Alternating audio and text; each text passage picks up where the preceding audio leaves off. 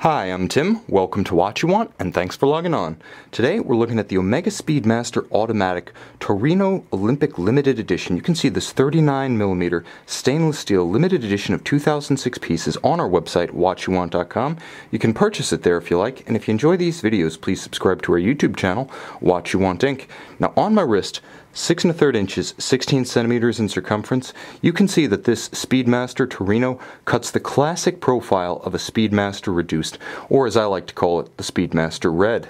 Now, 44.5 millimeters from extremity of lug to extremity of lug, it has a nice compact profile. Again, a 36 millimeter Rolex Date or Datejust is your comparable for wrist real estate.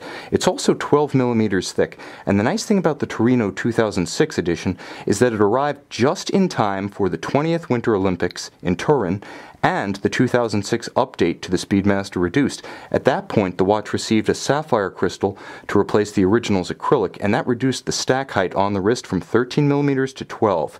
So you can see, not only does the watch now feature virtually scratch resistant sapphire, but it also features a lower stack height, so less likely to interfere with a dress cuff, a sleeve. You might still have a little trouble getting the tightest of sleeves up over that cantilevered tachometer, but the bottom line is that you have far more compatibility with looser sleeves, uh, jacket sleeves, blazer sleeves. This watch is just a bit more wearable in more occasions. And the watch is wonderfully light on the wrist. You have to remember that the original Moon watch on some bracelets can span a full 53 millimeters from extremity of end piece to end piece, so this watch having a far smaller footprint is also far more wearable from an ergonomic standpoint. Moreover, the watch features a dramatically upgraded Omega 3-link bracelet. Now you can see the polished intermediates give it a little bit of a jewelry accenting that creates an upscale look. It also features a very crisp friction fit deployant clasp, and this is a superb piece.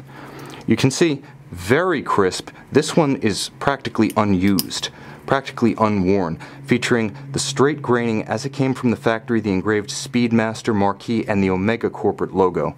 This is an impressive bracelet that's very solid.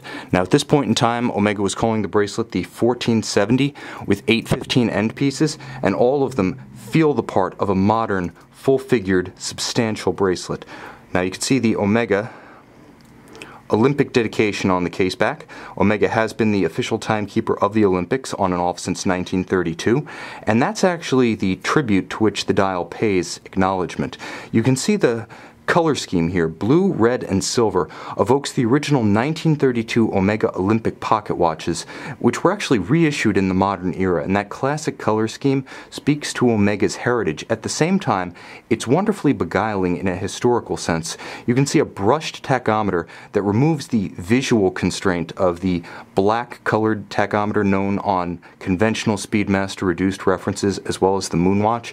It opens up the dial by appearing to extend the silver disc further outward, creating the appearance of a watch that's even bigger than it is. Now, everything on the dial is self-consciously styled to make this edition quite special. The red, white, and blue coloration is matched by a double scale, pulsations on the inner scale for the taking of Olympic athlete pulses, and of course a tachometer for timing events in progress on the outer scale. Now you can see that the subregisters, each one inset, each one with concentric circular guilloche, feature an additional refinement. All chronograph functions feature polished hands for hours, minutes, and seconds, and all civil time hours, minutes, and seconds feature black PVD to easily distinguish the hands from each other at a glance. Quite special, the watch features a Turin 2006 dedication at 6 o'clock, as well as an Olympic multicolor five interlocking ring logo as the counterweight to the seconds hand. You can also see an applied Omega marquee and Omega corporate logo at 12 o'clock adds just a little bit more richness to the dial in conjunction with the applied and polished hour indices. Now, we saw the case back dedication, but beneath it sits Omega's caliber 3220 Alpha. Now, it's based on an Omega caliber 2890A2 with a Dubois Dépraz 2020 module. What that means is that you have refinements unknown to the traditional Moonwatch. For one thing, the chronograph features a vertical clutch. So when you stop and start it, there's no stagger, there's no jump to the seconds hand, and because it's a vertical clutch coupling, there's no chronograph drivetrain to wear down if you leave it in motion.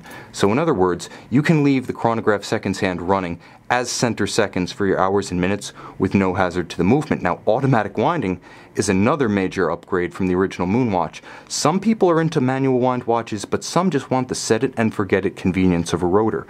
With automatic bidirectional winding, this 46 jewel movement packs a 38 hour power reserve. So once you put it on your wrist, wear it daily, set it and forget it, you get that automatic winding convenience. You can see this Omega Speedmaster Automatic Torin Limited Edition, the Torino 2006 limited series of 2006 pieces, 39 millimeters in stainless steel, on our website, watchyouwant.com.